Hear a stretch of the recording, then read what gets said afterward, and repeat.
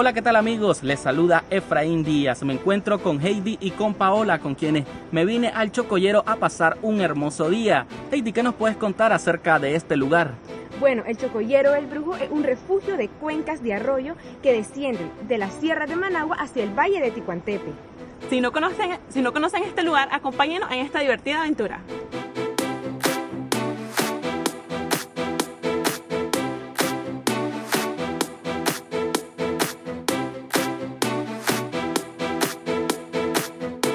Me encuentro con Alan Pasos, quien es guía comunitario de acá de El Chocoyero. Contanos un poco de la historia de este lugar.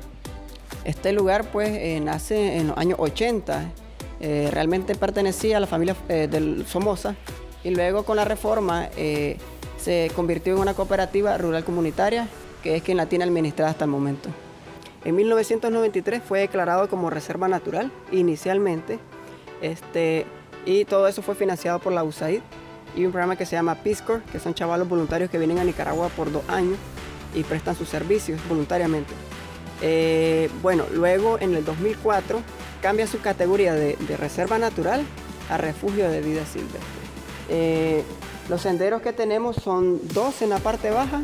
Tenemos el principal que va a la cascada, que es un kilómetro 200 metros, y tenemos uno que se llama el Congo, que son 2 kilómetros 600 metros. Eso va a decisión del turista, no del guía, dónde quieren caminar. También tenemos otro opcional, hay personas que caminan muchísimo y tenemos el sendero de aventura, que es la parte alta de la montaña, dura entre 4 a 6 horas aproximadamente y va a salir al crucero. Eso es para ver de dónde nacen los cascadas. ¿Qué tipo eh, de ave principalmente eh, el periquito del Pacífico es el que habita en la roca. Eh, pero bueno, hay variedades. Durante uno va en la caminata, se pueden ver eh, los dos tipos de guardabarrancos que tenemos. Tenemos, tenemos el, guardabarranco azul y tenemos el guardabarranco que tiene colores rojos, que es el nacional. y también tenemos variedades de especies pues, que andan sobre los senderos de, vuelo bajo. Mamíferos tenemos 56 especies, de los cuales lo más común en, el día es el mono congo y tenemos los monos cara blanca. También tenemos armadillos, pero son de hábitat nocturno. Solo se pueden hacer en los night tour. Nosotros tenemos guardatinajas, eh, tenemos también venado, eh, tenemos chancho de monte.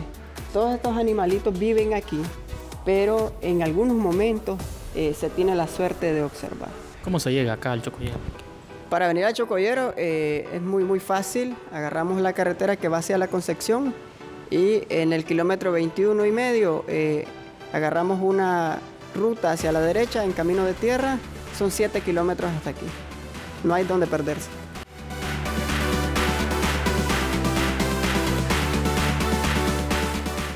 Les cuento que la reserva tiene dos cascadas. Detrás nuestro está la cascada del Chocoyero, que produce aproximadamente 60 galones de agua por minuto. La misma que abastece a la comunidad LD y está ubicada a 4 kilómetros de la reserva. También en este sitio hay 186 especies de aves, de las cuales más de 40 son migratorias que provienen del sur de Canadá y Estados Unidos.